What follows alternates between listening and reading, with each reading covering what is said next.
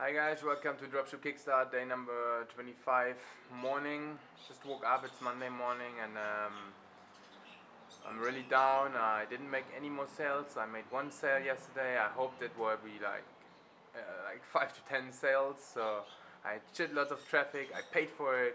Uh, I don't want to see my Google account now how much I paid for that, but I guess it ate all the profit from this one sale.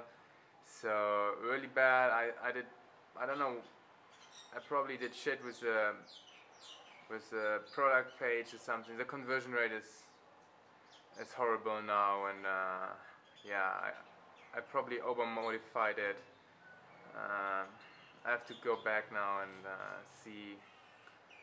I really lost motivation. Um, I guess it's it's one of these days where you really don't want to, where you think it it doesn't work, and um, yeah, so I don't know. I'm I'm really down and yeah, just just to let you know, guys, um, it's not always uh, happy days. Uh, it's it's a really it's really depressing. I have yeah I have five days left and um, there's no Sunday in between these five days. So Sunday is my high profit, my hope. Sunday was my hope.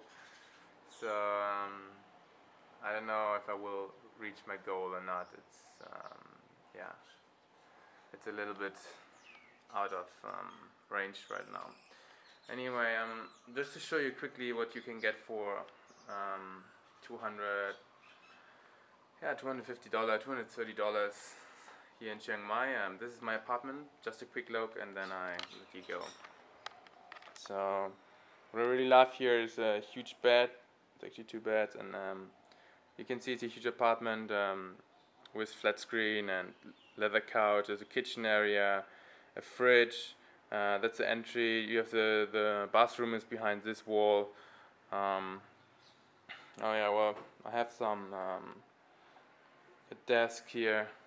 Oh shit! Now you can see I'm in underwear. oh whatever. Okay. Um. So cool. Yeah. This outside. My view some other buildings.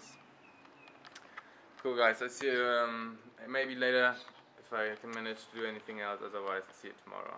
Okay, cool. Cheers.